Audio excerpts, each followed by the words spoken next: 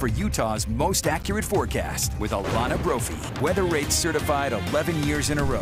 Happy President's Day. Hope you're having a good one. Mild temperatures out there throughout the Beehive State. We start with our live view from Cache Valley, Old Main, but you notice the cloud cover. Temperature sitting in the low 40s in Logan. That is about to change, folks. We've got big changes on the way, but for now, it's just the cloud cover that's pushing through the state that we're seeing in northern Utah and in central Utah with those fairly mild conditions. We will actually keep them mild overnight. Call it the warm before the storm as we sit in the upper 40s in Salt Lake right now with clouds sticking around for the next several hours. We'll probably bottom out in the upper 30s where we've seen several of our daytime highs. That'll give you an idea that we've got some changes on the way. That warmth is going to go away as we get a winter storm warning going into effect for tomorrow and a winter weather advisory in purple for the northwestern corner of the state, Castle Country, the basin, as well as southeastern Utah. So we are looking at decent, heavy accumulating snow.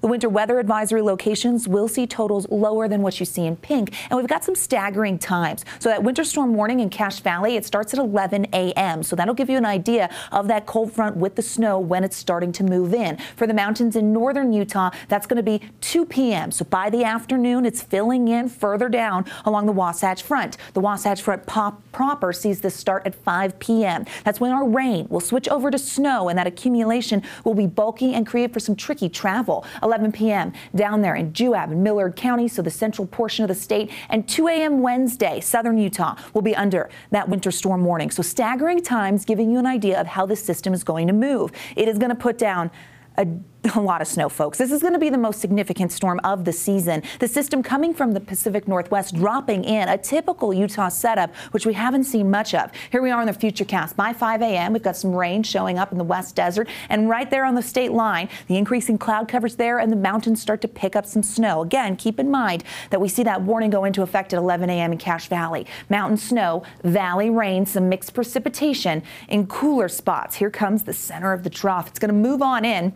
That valley rain will persist throughout the morning and afternoon hours, but by the time we hit the evening commute, we've got straight snow for the Wasatch Front. This is where we get really tricky travel conditions. As this moisture will head south, we get this area of low pressure that forms, and it's going to actually hover. Now, we will see the front stall just a little bit, which is why by 10 p.m., we're still getting heavy snow in portions of Salt Lake and Utah County. Davis County is going to be part of this, and as well as over in the basin. Areas south and east of this stalled front will be extremely windy. Also, looking at rain because we still have the moisture that's holding on there. Cold air behind the front. So north of the front is very chilly. It's going to lift this system to the northeast. And as it does, we get showery activity and the snow makes it down south and snow showers behind it. So as we head into Wednesday morning, we've got a real tough commute, but we also have snow showers throughout the day. Our winter storm warning holds until 11 p.m. Wednesday. So that'll give you an idea that a lot's going on. We also have high wind warnings going into effect at 2 p.m. for a bulk of southern Utah.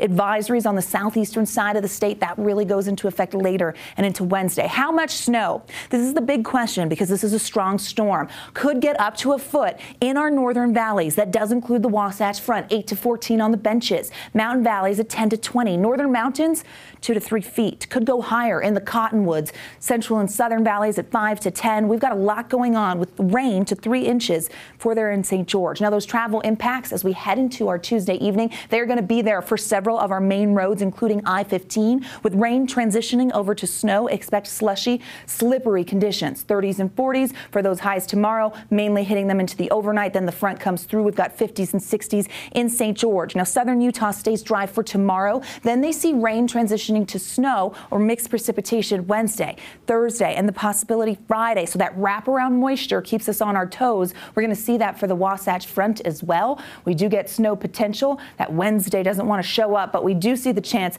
of that isolated activity holding on.